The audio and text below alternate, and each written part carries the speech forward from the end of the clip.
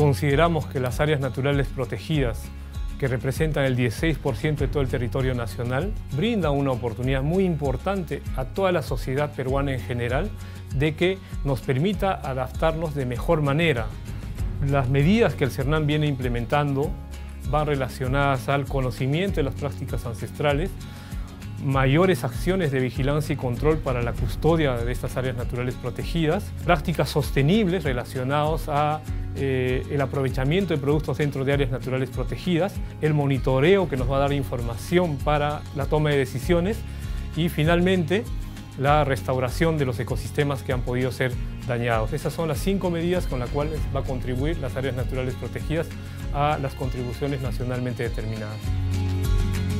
Para el éxito de estas medidas es muy importante reconocer y aplicar las prácticas ancestrales de los pueblos indígenas u originarios.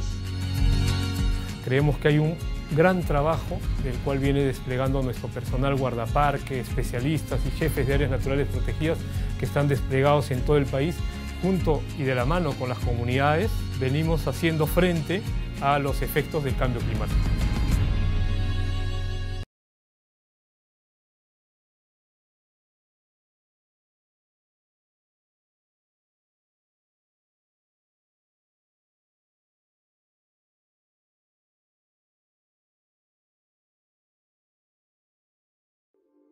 Bicentenario del Perú, 2021.